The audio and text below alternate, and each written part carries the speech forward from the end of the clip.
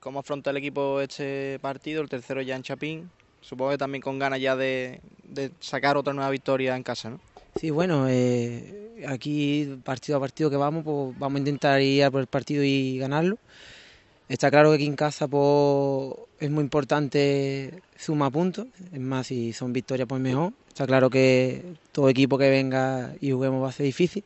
Cada vez se lleva sin, sin perder ningún partido fuera de casa, seguramente sea aquí un rival muy difícil, pero lo que tenemos que tener claro es que tenemos que seguir con nuestra idea, nuestro trabajo que estamos haciendo, que se está viendo los frutos y seguir en esa línea. ¿Qué ha cambiado en esa dinámica del equipo de las dos primeras jornadas donde no se consiguió eh, la victoria a estas dos últimas donde ya el equipo, tanto la primera parte de frente al San Roque del Epe como la primera parte frente al arco, mostró una grandísima imagen? Y evidentemente ha cambiado algo, ¿no? hemos apretado una, vuelta más a la rosca, ¿no? Estamos trabajando, pues, si cabe, todavía más duro.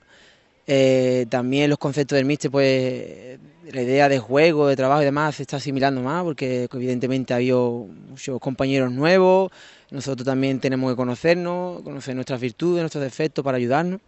Y entonces, pues, es un conjunto de las cosas que se están viendo reflejadas, ¿no? Es verdad que llevamos dos partidos con un juego, hemos sabido sufrir en los momentos que hemos tenido que sufrir y lo hemos sacado adelante. Es buena señal, es, un ejemplo, una línea en la que tenemos que seguir trabajando e intentar no desviarnos de ella. A nivel personal, empezaste ocupando un puesto en el banquillo, poco a poco has ido haciéndote con más minutos hasta ganarte la confianza del Miche, dos partidos, titular los dos y dos victorias para el equipo.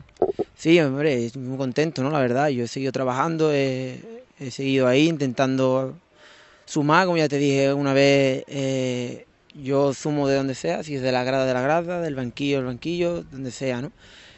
Por suerte he podido continuar luchando y he conseguido eh, entrar en el once inicial, pero esto acaba de empezar. puede tocar otro día, me puedo quedar fuera y tengo que seguir trabajando. Estoy muy contento, pero esto es un equipo, aquí las individualidades nos sirven, entonces lo que hay que pensar es en seguir sumando, en ayudarnos, en entrenar duro y en los partidos y fuertes y, y mentalizados de que, de que va a ser un año duro, bonito y tenemos que estar todo el equipo preparado. ayuda también psicológicamente romper esa barrera del primer gol. Eh, costó que llegara en los dos primeros partidos, finalmente lo consiguió romper Jorge Herrero.